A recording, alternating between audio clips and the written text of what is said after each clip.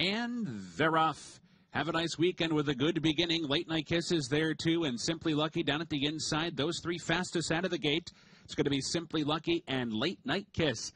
Head to head in the opening furlong, speeding off to lead by two. Have a nice weekend is back racing, third by three. Axe Capital's fourth and enticing evening is at the back of the pack in fifth, about six or seven lengths off. Late Night Kiss, who steps on it onto the far turn, kicks away by two as they move on to that turn. Giving chase is simply lucky on the outside. The opening quarter in 22 and three. Have a nice weekend moves over to the inside to be third, only two lengths behind. Midway round the far turn, Axe Capital and enticing evening are the back two. So round the far turn they go go. Late night kiss pushed on to maintain the lead. Simply Lucky, though, is hovering on the outside and now takes charge with a quarter mile to go. Simply Lucky comes off the turn and opens up by two. Late night kiss is under the whip back into second. On the outside, have a nice weekend's trying to muster up a late rally. Axe Capital in behind with enticing evening. There's one furlong to go, still wide open.